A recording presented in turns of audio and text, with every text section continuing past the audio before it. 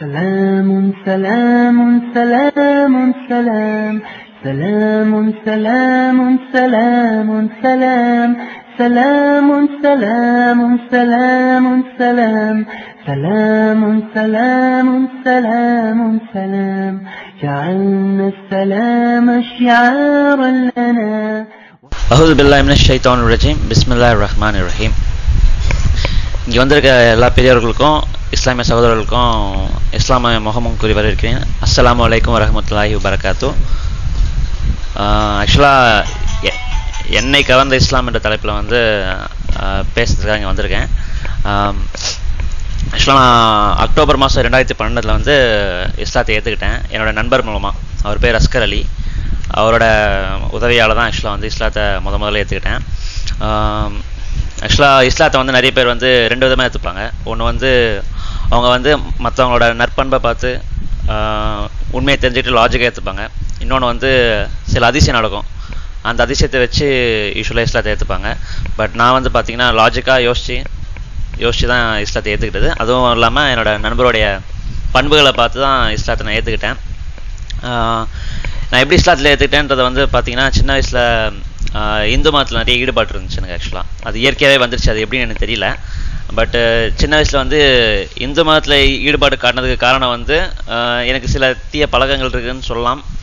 But இருந்தாலும் அந்த ரீசன்னால எனக்கு வந்து நான் நல்லவனாக இருக்கணுன்றதை வந்து மாற்றிக்க ட்ரை பண்ணுறதுக்காக நான் இந்து மதத்தை தேடி போனேன் ஆக்சுவலாக ஸோ அந்த ரீசன்னால் எப்படி சொல்கிறது இந்து மதத்தை நிறைய தெரிஞ்சுக்க ஆரம்பித்து அதோட கொள்கைகளை வந்து நல்லா பின்பற்ற ஆரம்பித்தேன் அது வந்து ஒரு சின்ன வயசுலேருந்து ஏழாவது எட்டாவது வயசுலேருந்தே நான் அந்த மாதிரி நான் இந்து மதத்தை நிறைய தெரிஞ்சுக்க ஆரம்பித்தேன் ஸோ தெரிஞ்சுக்க ஆரம்பிச்சும் போது தான் பத்தாவதில் முத முதல்ல என் நண்போட பழக்கம் கிடச்சிது எனக்கு பத்தாவது படிக்கும்போது. அந்த நேரத்தில் வந்து அவன் வீட்டுக்கு வந்து ரொம்ப அடிக்கடி ஃப்ரீக்வெண்ட்டாக நான் போவேன்.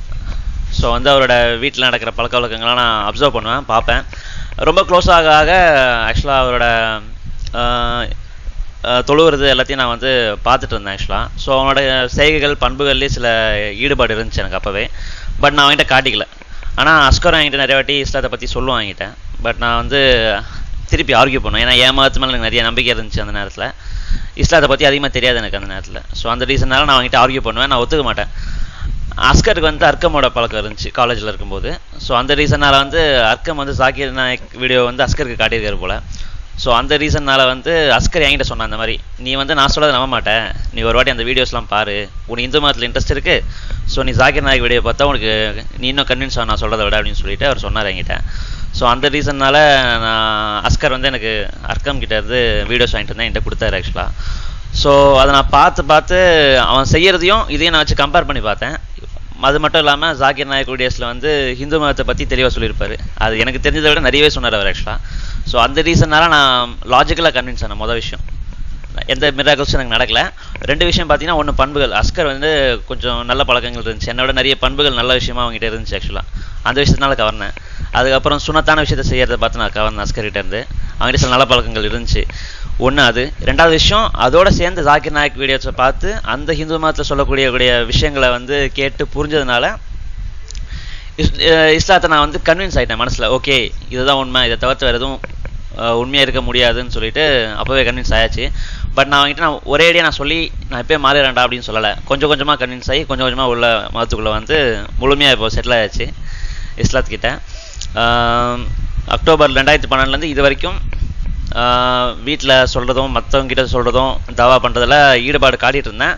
பட் பிரச்சனை என்னன்னா அப்பா வந்து நடுவில் தவறிட்டாங்க. அவருக்கு ஹிதாயா கிடைக்கல. இன்ஷால்லா அண்ணனுக்கும் வீட்டில் தம்பிக்கு கிடச்சிருச்சு இதையா அவன் வந்து நான் சொல்கிறத புரிஞ்சுக்கிட்டான். அந்த வயசு வந்துருச்சு அவனுக்கு. பட் என் அண்ணனுக்கும் என் அம்மாவுக்கு வந்து இன்னும் ஹிதாயா கிடைக்கல. ஸோ அதுக்காக இன்னைக்கெலாம் துவா செய்யணுன்ட்டு உங்ககிட்ட கேட்டுக்கிறேன். இன்ஷால்லா. அப்புறம் வந்து ஜாக்கிர் நாயக் வீடியோஸை பொறுத்த வரைக்கும் அவர் சொன்ன சில விஷயத்த வந்து ரொம்ப அதிகமாக ஈடுபாடு காட்டி எனக்கு ஒரு ஈ பிடிச்ச விஷயம் என்னன்னு பார்த்தீங்கன்னா சூரா ஃபுத்தில் நாற்பத்தி ஒன்றாவது வருஷம் அத்தியாயத்தில் ஐம்பத்தி மூணாவது வருஷம் வந்து ரொம்ப பிடிச்ச ஒரு விஷயமா அவர் சொன்னதில் இருந்துச்சு எனக்கு. அது என்னென்னு பார்த்தீங்கன்னா அவர்கிட்ட வந்து ஒரு கேள்வி கேட்டாங்க ஆக்சுவலாக ஒரு மீட்டில் வந்து என்ன கேள்வின்னு பார்த்தீங்கன்னா இஸ்லாத்தில் வந்து பிறந்து வளர்ந்தவங்களுக்கு வந்து இஸ்லாமிய இஸ்லாமை பற்றி நல்லா தெரியும். ஸோ அவங்க அதுக்கேற்ற மாதிரி அவங்க உண்மையை புரிஞ்சுக்கிட்டு அவங்க இஸ்லாத்துக்குள்ளே இருக்காங்க. பட் ஆனால் இஸ்லாத்தை தவிர்த்து மற்ற மதத்தில் புரிஞ்சவங்களுக்கு வந்து எப்படி இஸ்லாத்தை பற்றி தெரிய வரும். அவங்க என்ன நிலமையில் வந்து இஸ்லாத்தை ஏற்றுப்பாங்கன்றதை பற்றி சாகினாயிட்ட கேட்டாங்க. அதுக்கு வந்து ஒரு சின்ன விளக்கம் கொடுத்தாரு. அது பார்த்தீங்கன்னா சூரா ஃபுசிலத் நாற்பத்தி ஒன்றாவது அத்தியாயத்தில் ஐம்பத்தி மூணாவது வசனத்தை பற்றி அவர் சொன்னார் ஆக்சுவலாக அதில் என்ன சொல்கிறாங்கன்னா நிச்சயமாக இவ்வேதமானது உண்மை உண்மையானது என்று அவர்களுக்கு தெளிவாக உல தெளிவாக்குவதற்காக உலகில் பல கோணங்களிலும் அவர்களுக்குள்ளேயும் நம்முடைய அத்தாட்சிகளை அவர்களுக்கும் நாம் காண்பிப்போம் அப்படின்றது தான் அந்த வசனம் ஆக்சுவலாக அதுக்கு என்ன அர்த்தம்னா வந்து அல்லாஹ் வந்து எல்லாருக்குமே வந்து இறை அத்தாட்சிகளை வந்து கொடுத்துருக்கான். நான் ஒருத்தன் தான் இறைவன். என்னை தவிர்த்து வேறு யாரும் நீங்கள் வணங்கக்கூடாதுன்ற ஒரு அத்தியா அத்தாட்சியத்தை வந்து உலகம் ஃபுல்லாக கொடுத்துருக்கான்றது அல்லாஹ் குரான் நிறைய வசனங்களை சொல்கிறான் அதில் என்ன நீங்கள் உற்று நோக்கி பார்த்தீங்கன்னா அல்லாஹ் வந்து இறை நிராகரிப்பாளர்கள்னு தான் சொல்லுவானே தவிர ஆக்சுவலாக வந்து யாருக்குமே செய்தி போகலன்ற விஷயத்த வந்து சொல்ல மாட்டான். எல்லாருமே நிராகரிப்பாளர்கள் தான் சொல்லுவான். ஏன்னா என்ன விஷயம்னா உலகத்தில் பிறக்கிற எல்லா மனுஷருக்குமே வந்து இறைவன் ஒருத்தந்தான்ற ஒரு செய்தி வந்து அவன் சாவத்துக்குள்ள எப்படியாச்சும் ரீச் ஆயிரும் அவனுக்கு. அப்படின்னு நல்லா சொல்கிறான் இதை வந்து நீங்கள் முஸ்லீம் நீங்கள் மற்றவங்களுக்கு சொன்னாலும் சரி சொல்லலனாலும் சரி அல்லாஹ் வந்து அவனோட பாணியில் வந்து கண்டிப்பாக ஒரு ஒரு உயிருக்குமே அவன் பிறந்து சாவறதுக்குள்ள அந்த ஒரு விஷயம் வந்து அவனுக்கு போயிடும் கண்டிப்பாக வந்து இறைவன் ஒருத்தன்ற விஷயம் வந்து ஒருத்தன் சாவறதுக்குள்ளே அவனுக்கு தெரிஞ்சிடும் எப்படியா இருந்தாலும். நம்ம சொன்னாலும் சரி முஸ்லீம்களாக நம்ம வந்து சொன்னாலும் சரி சொல்லலனாலும் சரி ஒரு ஒரு மனுஷருக்கும் அந்த விஷயம் வந்து சென்று போய் சேர்ந்துடும் அவனே கன்வின்ஸ் ஆகிற அளவுக்கு. அது அப்படின்னு நல்லா சொல்கிறான் இஸ்லாம். அவனுக்கே கன்வின்ஸ் ஆகிற அளவுக்கு ஒரு நான் முஸ்லீமாக இருந்தாலும் சரி நான் முஸ்லீமாக இருந்தாலும் சரி அவன் கன்வின்ஸ் ஆகிற அளவுக்கு வந்து இதுதான் உண்மை அப்படின்ற ஒரு விஷயம் வந்து ஒரு ஒரு மனுஷருக்கும் நான் காட்டிடுவேன் அப்படின்ட்டு எல்லாம் சொல்கிறான் ஸோ அதனால தான் வந்து எல்லாம் சொல்கிறான் இறை நிராகரிப்பாளர்கள்னு சொல்லுவாங்க. காஃபின்றதுக்கு அர்த்தம் பார்த்தீங்கன்னா இறை நிராகரிப்பாளர்கள்னு சொல்கிறாங்க இது புரிஞ்சிட்டதுக்கப்புறம் சில பேர் வந்து சில காரணங்களுக்காக அதை ஏற்றுக்கிறாங்க ஏற்றுக்காமல் போகிறாங்க ஸோ அந்த ஒரு விஷயத்தினால தான் வந்து நம்ம போயிட்டு இப்போ சில பேர் கேட்பாங்க நான் முஸ்லிம்ஸ் பார்த்தீங்கன்னு வச்சுங்களேன் சில பேர் கேட்பாங்க இந்த மாதிரி நான் வந்து இஸ்லாத்தை வந்து நான் புரிஞ்சுக்காமே செத்துட்டேன்னா இன்கேஸ் நான் வந்து அல்லாஹ்கிட்ட போய் நான் முறையிடலாம் இல்லையா? எனக்கு இந்த எந்த விஷயமே சொல்ல எந்த ஆச்சா அத்தாச்சும் எனக்கு வரவே இல்லைன்னு சொல்லிட்டு அல்லாஹிட்ட போய் முறையிடுவாங்க மறுமையில். ஸோ அந்த ஒரு ரீசனுக்காக தான் அல்லாஹ் வந்து சாவறதுக்குள்ளேயே அவன் தான் பாணியில் வந்து ஒரு ஒரு மனுஷனுக்கு வந்து புரியுற அளவுக்கு இதுதான் உண்மைன்றதை வந்து தெளிவாக விளக்கிடுறான். அந்த மனுஷன் கன்வின்ஸ் ஆகிற அளவுக்கு. பட் வெளிப்படி அவங்க காட்டிக்கிறது காட்டாதது அவங்க ஏற்றுக்கிறது ஏற்றுக்காததுலாம் அவங்களோட பொறுப்பில் விட்டுருவான் அல்லாஹ். ஸோ அந்த ரீசன்னால தான் வந்து இறை நிராகரிப்பாளர்கள்னு சொல்கிறாங்க ஸோ அல்லாஹ் கிட்ட போயிட்டு நம்ம வந்து மறுமையில் போய் கேட்க முடியாது. எனக்கு எந்த வசனமும் வரல உங்களோட அத்தாட்சிகள் எதுவும் வரலன்னு சொல்லிட்டு அல்லாஹ் கிட்ட கேட்க முடியாது. இந்த ஒரு சந்தர்ப்பம் கொடுன்னு கேட்டால் மன்னிக்கப்படும் தான் சொல்லப்படும் அப்படின்ற மாதிரி ஜாக்கிர் நாய்க்கு விளக்கம் கொடுத்தாரு. இது ஒரு விஷயம். ரெண்டாவது விஷயம் பார்த்தீங்கன்னா மறுமையை பற்றி எக்ஸ்பிளைன் பண்ணுறதுல வந்து ஒரு விஷயம் பார்த்தீங்கன்னா ஹிட்லர்ன்றதை பற்றி எல்லாருக்கும் தெரியும் உங்களுக்கு ஹிட்லரை பற்றி அவர் வந்து நிறைய யூதர்களை கொண்டு இருக்கார் ஆக்சுவலாக ஸோ மறுபடியை பற்றி சொல்ல போனோம்னா அல்ல வந்து ஒரு வசனத்தை சொல்கிறான் ஒரு தடவை வந்து நான் நரவ நெருப்பில் அவங்கள போட்டதுக்கப்புறம் அவங்க தோள்கள் கருகி உறிஞ்சதுக்கப்புறமா அவங்கள புது தோலை கொடுத்து நான் அந்த வழியை உணர வைப்பேன் அப்படின்னு சொல்லிட்டு அல்ல ஒரு வசனத்தை சொல்லுவான்.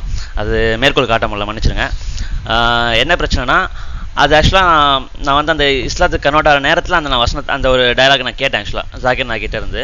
ஸோ அதை கேட்கும்போது என்னாச்சுன்னா நான் வந்து ஒரு மருத்துவத்துறையில் இருக்கிறதுனால எனக்கு தெரியும் ஆக்சுவலாக என்ன ரீசன்னால அது எனக்கு நல்லா புரிஞ்சுன்ற விஷயம் என்னென்னா ஆக்சுவலாக ஹிட்லர் வந்து நம்ம இங்கே பிடிச்சோன்னா ஒரு வாட்டி அவனை கொல்லலாம். அவங்க செஞ்ச அத்தனை பேரோட கொலைக்காக ஒரு வாட்டி கொல்லலாம். பட் ஆனால் மறுமையில் வந்து அல்லா வந்து அவனை பரமுறையில் வந்து அந்த அந்த முறையில் அவங்கள தண்டிக்க வாய்ப்பு இருக்குது ஸோ ஒரு வாட்டி கருகி உறிஞ்சதுக்கப்புறம் பல முறை அவங்களுக்கு மாற்றி மாற்றி தோலை கொடுத்து அந்த வழியை உணர வைக்க வாய்ப்பு இருக்குன்னு சொல்லிட்டு எல்லாம் சொல்கிறோம் அந்த மாதிரி வந்து சாக்கிய நாயக் எனக்கு சொன்னார் அந்த வீடியோவில் பட் அதை நான் நீங்கள் லாஜிக்காக அதை உள் உள்நோக்கி கொஞ்சம் புரிஞ்சு பார்த்தீங்கன்னு வச்சு வச்சிங்கன்னா ஆக்சுவலாக வந்து தோல் தான் வந்து ஒரு மனுஷனோட உடம்புல வந்து வலியை உணரக்கூடிய ஒரு பகுதி.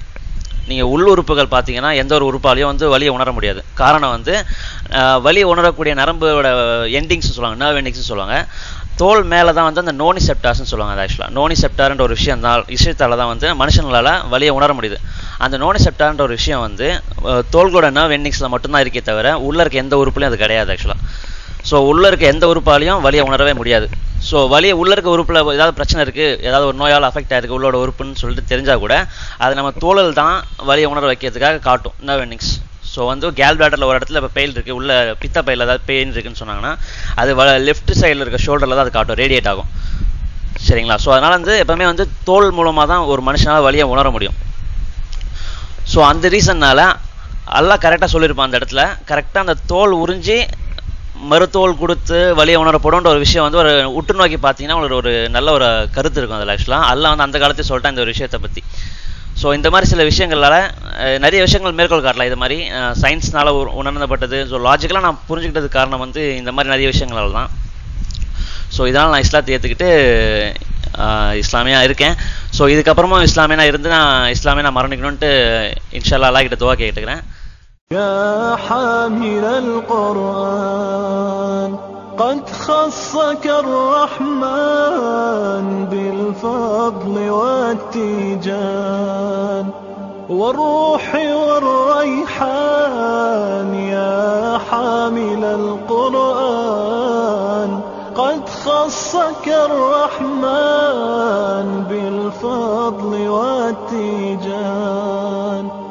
والروح والروح